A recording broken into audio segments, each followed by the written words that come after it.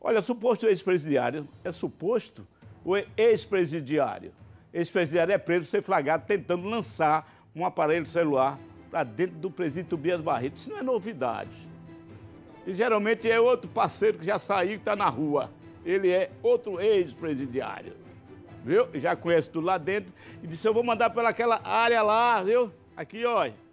Só que ele foi preso pelo, da Polícia Penal. Mostra aí, o pessoal está atento, hein?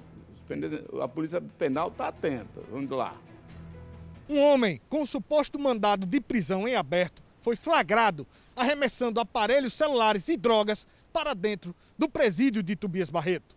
De acordo com policiais penais, este homem ele foi flagrado por agentes que estavam na guarita, ali do presídio, de olho no movimento. Com ele, foram apreendidos 20 aparelhos celulares e 150 gramas de maconha. Após esse flagrante, ele foi encaminhado à Delegacia Regional de Tobias Barreto. As imagens são de múmia e essa foi mais uma informação policial para o Tolerância Zero. Você viu, Baretinha, desse tipo, hein? É mulher, é homem, é tudo, joga. Eu nunca vi uma cadeia. Só aqui em Sergipe. Em outros lugares, as cadeias, para você chegar na cadeia, você tem, anda mais ou menos um quilômetro, um raio de um quilômetro para chegar perto lá já da porta da, da cadeia. Aqui o cara, a cadeia aqui, o cara faz uma casa com a, a metade da parede já da porta da cadeia. Escola na parede da cadeia. Faz bar, faz tudo. Aí o cara lá, já vou, tá, tá, mandei, é assim. Eu não entendo, já falei isso 500 mil vezes.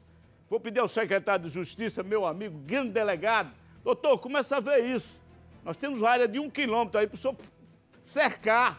E antes de chegar no portão principal, o cara passa pelo portão primeiro da frente, que vai abrir para ele. Aqui o cara já abre, já entra lá, vai, papai, já vou, viu? Aí, aí pega a mala e já vai entrando. A subida, cheguei! Com os outros, os outros estão tudo na porta, cheguei, é assim, pai.